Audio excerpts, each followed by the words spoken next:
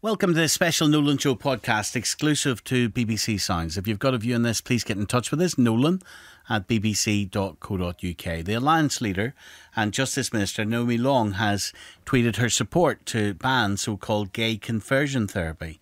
She said this is not therapy, it's not recognised by any governing body as such. Some question if it is really necessary, and concerns have been raised over whether it would mean, of what it would mean for people with gender identity issues. I've been speaking to Malcolm Clark from the LGB Alliance and the Green Party councillor Mal O'Hara. I began by asking Mal whether he supported the Justice Minister's call. Uh, well, obviously, I'm in support of banning conversion or reparative therapy. Um, I think it's outmoded, it's outdated. No professional organisation relating to psychotherapy or counselling supported. Um, there have been a number of joint statements over the last decade from those professional organisations saying, in fact, that reparative or conversion therapy actually does further harm to people. And I think what's important is that we ban this um, and therefore we prevent harm happening to people who may already be vulnerable. Malcolm? Well, there's a lot that Mal says that I completely agree with. Um, I'd only say that um, we would we would need to define terms really. Um, what do we mean when we say conversion therapy? If we're going to ban something, we should be clear what we mean.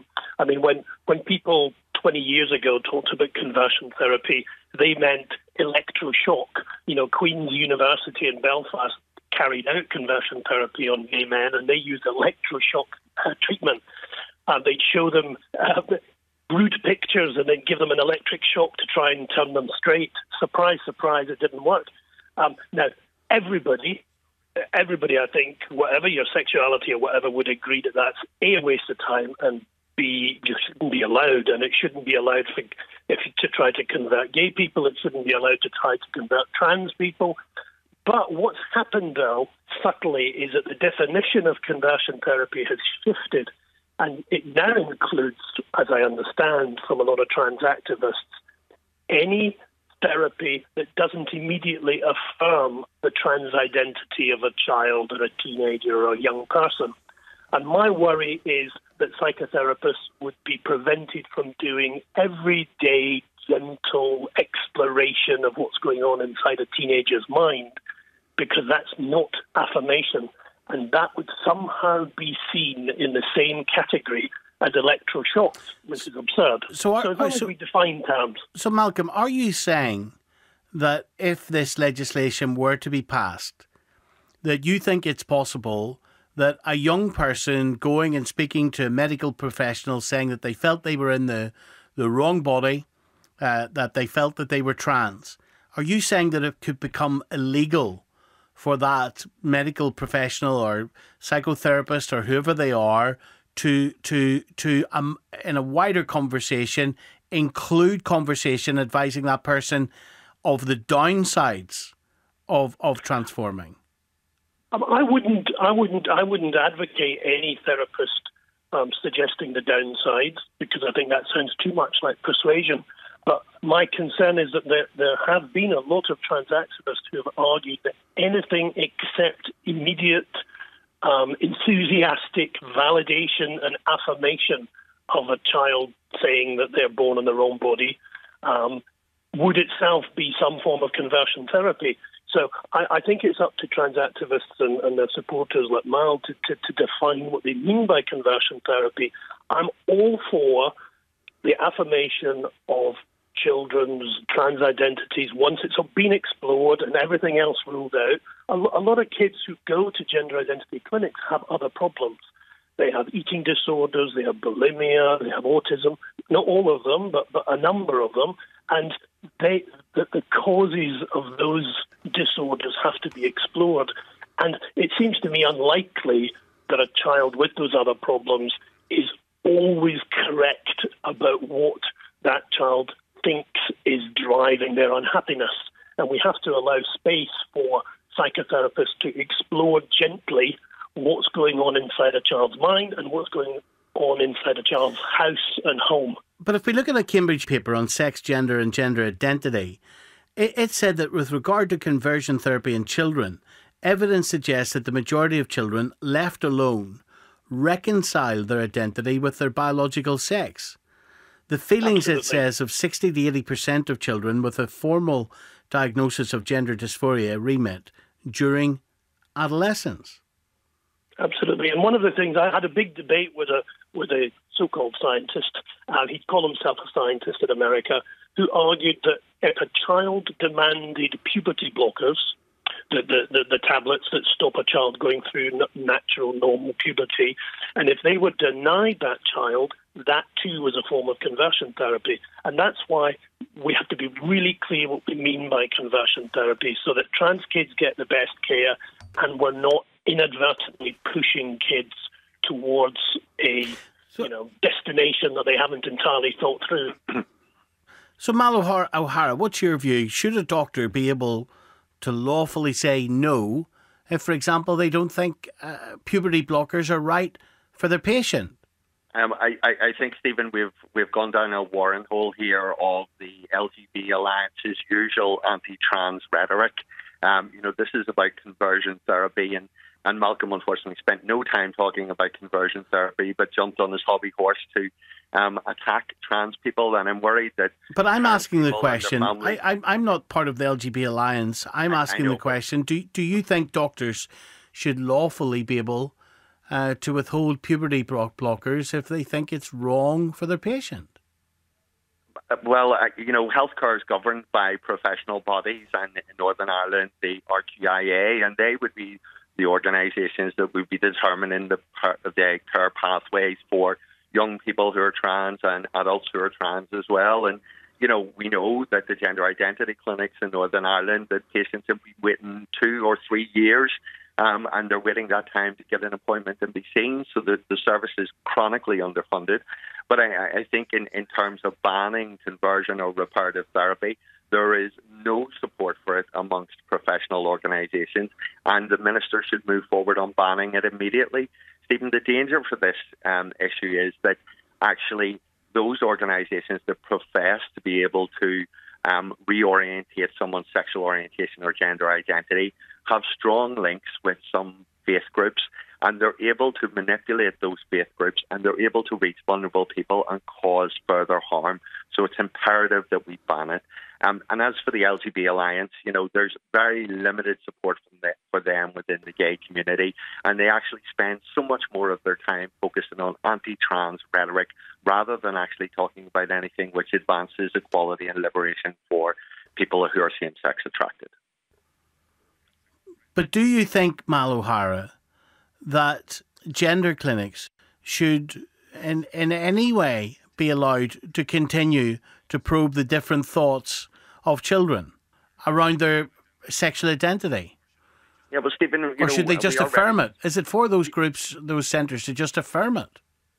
Well, I would be in favour of the self-declaration model, and actually, if someone affirms says that their their gender is X, um, and that might be different to the physical body or the biological body in which they're born, then professionals will be able to work through that process, provide support to someone, and provide them the appropriate treatment. But I think the um, importance um, of this discussion today is there's no one questioning, um, you know, whether you should be entitled to favour some, something. This is about whether something should be made illegal. So, do you think, do you support legislation that may make it illegal for one of those centres to say to someone, we don't think you are ready to declare that, that you are in the wrong body. We don't I, think I, that you should we should you should get gender reassignment surgery. We don't think that it's the right time for you. Stephen, that's actually what's actually what's happening at the moment, and I, I think we're being led by the nose by the LGBT Alliance and their anti-trans rhetoric here. You know, if a young person or child presents with gender dysphoria or feels that they're in the wrong body, they will be linked into appropriate care pathways and provided professional medical support.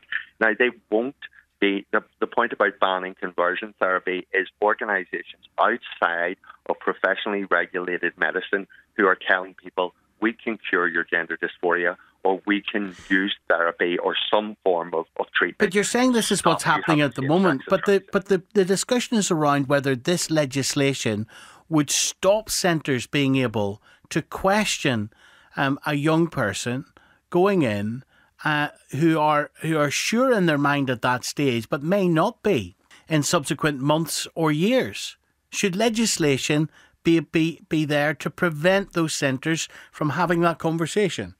Legislation should be in place to prevent outmoded and harmful forms of therapy which are not supported by any professional and is it harmful for a centre to say to i don't know a 14 or 15 year old you may think you're in the wrong body but actually we don't think that um, that you are ready or have looked at this enough um, or you're you're manifesting some warning signs of of of confusion where we do not think this is right for you should they be able to have that conversation or not yeah, and what's interesting there is the premise is that you know if someone presents and says that they they're in the wrong body or they've gender dysphoria, we automatically jump to confusion. If someone says they may be gay, we jump to confusion. We don't say to straight people or cis people, "You're confused. Go away and think about it." We accept it as a narrative truth. So we should do the same for trans kids and, and queer kids when they present for treatment or support. And you know, we already have the well established Gillick principles in terms of autonomy for young people seeking um, sexual and reproductive health care. So if you're under 16, you can access the pill or you can access um, contraceptive services or STI screening. And this would be the same principles applied to trans people seeking support who are on. Well, what about this Cambridge study, which which said with regard to conversion therapy in children, evidence suggests that sixty to eighty percent of children with a formal diagnosis of gender dysphoria remit during adolescence? I, am not aware of the particular study, Stephen, but um, you know I, am in favour of self-declaration. We've had a similar model in the south for a long time, and you know the world hasn't fallen apart. If you take at face value those figures, sixty to eighty percent, and the and the process of gender reassignment has begun, take that sixty to eighty percent figure and even consider it. And then think about how many children would have, as they grew older, not have got that, that reassignment done. Stephen, the, the, the treatment that's offered for younger people isn't reassignment surgery. It, it's it's hormone blockers, which can be reversed if they come off them. You know, I, it sets I, them on the path to reassignment surgery, doesn't it? Uh, but it's when you're older that you will then be able to access that. I came on the show to talk about conversion therapy um, and, and outlawing it, and, and, and that's what I hope the discussion would be. If I'd known it was specifically about trans people, I would have encouraged talk to trans people about their issues. They're the experts. They're the ones with the lived experience, and they have professional organisations which can advocate for their community. Conversion, I'll stand con- behind them and support them. Conversion therapy in itself, Malcolm Clark, is. It, it, can you not understand how people find it deeply abhorrent? Well, I do too. I mean, absolutely. I mean, the idea of electroshocks or anything that's bullying, of course, everybody agrees that's bad. What we're talking about is not throwing the baby out with the bathwater. To stop electroshocks and stopping crazy religious organizations that Mal referred to, of course, we've got to do that. But the point is to do change their minds. You know, Tom Robinson, who wrote Glad to Be Gay, a few years later decided to marry and he's now happily married and he's straight. Good on him. I don't care. And and so gay people change their minds. Trans people may change their minds too. And the difference is Tom Robinson, when he was a kid, didn't get put on a medical pathway. He could have changed his mind if he wanted. Once he'd had a bestseller with Glad to Be Gay, he thinks, okay, maybe I'm straight. He can do that. If a kid gets on a medical pathway the puberty blockers, by the way, are not entirely reversible, but that's another matter. But if they take puberty blockers and then they go on a medical pathway, there's a good chance that a big percentage of them will get surgery or hormones that will be irreversible. And that's what we're trying to avoid. Final word to you, Mal. Well, I hope to see the minister move forward quickly on banning this harmful and unsupported quack therapy across Northern Ireland. Um, our MLA asked a question in January. He said he would move at pace with the UK government. The Tory Prime Minister last week said that he intends to ban it in England, and I hope to see our Minister do exactly the same in Northern Ireland.